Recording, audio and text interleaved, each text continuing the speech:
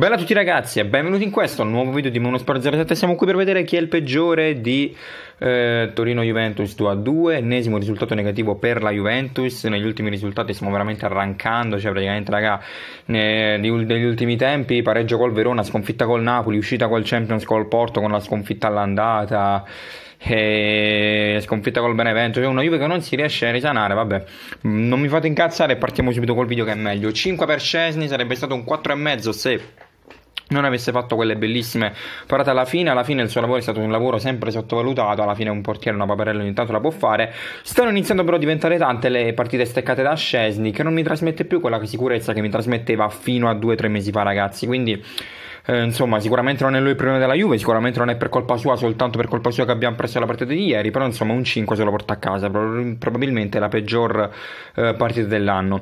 6,5 per Chiellini che non credo sarà mai un problema quest- per questa Juve, una Juve che numericamente, lo dico sempre ragazzi, numericamente è messa veramente male tra infortuni e tutto, quindi rescindere il contratto di Chiellini per andare a spendere 20, 10, 12 milioni su un altro difensore mi sembra veramente utopia, alla fine 20 partite in un anno te le puoi giocare, ok che è sempre rotto, però finora da qui alla fine, alla fine, dell'anno credo che alla soglia di 20 partite ci arriverà senza problemi il buon Giorgio Chiellini ragazzi. Eh. Quindi così male la situazione per lui non la vedo. 6 per Delict che ieri non mi è piaciuto tanto nella, nella marcatura con Belotti, eh, diciamo che le ha date e le ha prese con eh, il buon Gallo. Eh.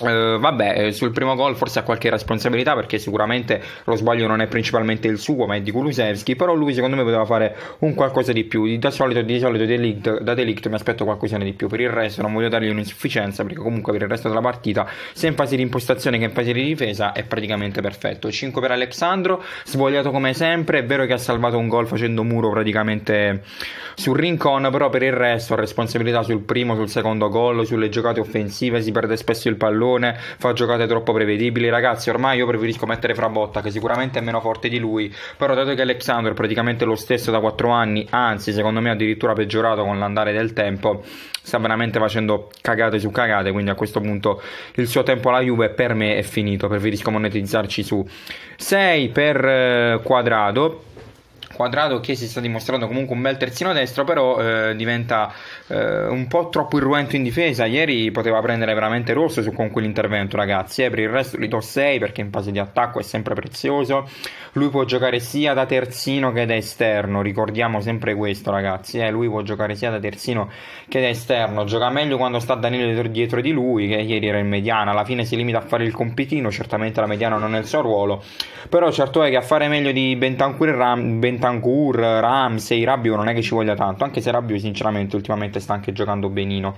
Aveva bisogno di un riposo Rabiot dopo troppe troppe partite giocate di fila, ha giocato benissimo anche con la nazionale, aveva bisogno di riposo Rabiot, giusto mettere lui in mediana che comunque il compitino lo sa fare, non è che abbiamo perso perché ha messo Danilo mediano o pareggiato perché ha messo Danilo mediano perché alla fine ieri il centrocampo ha fatto anche un discreto lavoro in fase di 4-4-2 non capisco perché Pirlo non passi al 4-3-3 perché secondo me con l'acquisto di un ulteriore centrocampista può farcela senza dubbio a passare al 4-3 quindi un 6 più per Bentancur che eh, sicuramente mh, mm, ha fatto una delle sue prestazioni migliori sinceramente. Ieri sia in fase di impostazione sia in fase offensiva ieri ho visto veramente veramente bene Bentancur con una grande sorpresa eh quanto a Kulusevski, prima aveva l'attenuante che doveva giocare, non doveva giocare esterno, ma doveva, cioè non doveva giocare punta, seconda punta dietro Ronaldo, ma doveva giocare esterno. Anche se lui la metà dei gol che ha fatto, ragazzi, li ha fatti da seconda punta, eh, quindi la metà dei bonus tra gol e assist li ha fatti tra seconda punta. Ora che gioca esterno, sono due volte che fa questo errore, quindi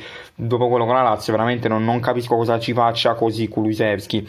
7 invece per Chiesa, man of the match. Quante volte abbiamo visto questa copertina, ragazzi? Chiesa, man of the match. Chiesa, man of the match. Chiesa, il migliore del match. Ragazzi, che gioca a destra, che gioca a sinistra, la grinta che mette lui, se ce la mettono in pochi. In una squadra senza gioco, senza niente, perché ragazzi sinceramente non vedo gioco. Chiesa si fa man of the match, si porta la Juve sulle spalle e salva la Juve. Solo ieri ha fatto un paio di giocate offensive che ha messo in difficoltà il Torino. Ronaldo, pure lui, di solito gli do 5 quando fa cose del genere, nonostante anche segna. Però gli do 6, non voglio essere cattivo con lui, alla fine anche se un buon abbastanza culo segna. Però eh, dal momento in cui la Juve non stava vincendo in poi, perché all'inizio non si reggeva in piedi, poi dal momento in cui la Juve stava vincendo in poi si è caricato anche lui insieme a Chiesa la squadra sulle spalle e questo comunque va sottolineato, quindi buona prestazione di Ronaldo che almeno per uno come lui che prende 30 milioni l'anno mi aspetto, quindi bene, 6 per lui, 4,5 per Morata, quanto cazzo pesa quel contropiede a campo aperto alla fine, sprecato all'ultimo respiro ragazzi, cioè veramente una cosa incredibile, Morata non si regge praticamente in piedi, devo capire se non sta al 100%, se fa schifo lui ragazzi, se vogliamo rimpiazzare Di Bala con lui, io adoro Morata eh, come persona ma anche come calciatore, ma è troppo discontinuo, cioè sinceramente io Morata, un Morata così non lo riscatterei mai, eh, chiederei semplicemente un riscatto, un, come si dice, un, uno diciamo una riduzione del costo all'Atletico, uno sconto.